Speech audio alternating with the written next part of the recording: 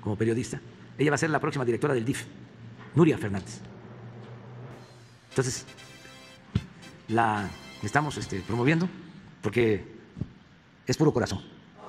Es una mujer este, buena, una mujer de buenos sentimientos, de convicción, honesta. Ella va a ser.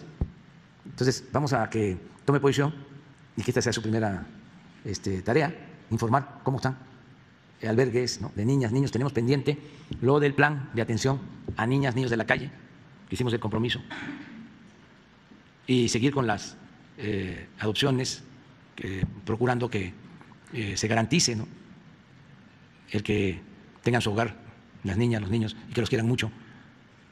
Y vamos a pedirle a, a Nuria que venga en unos 15 días, si te parece.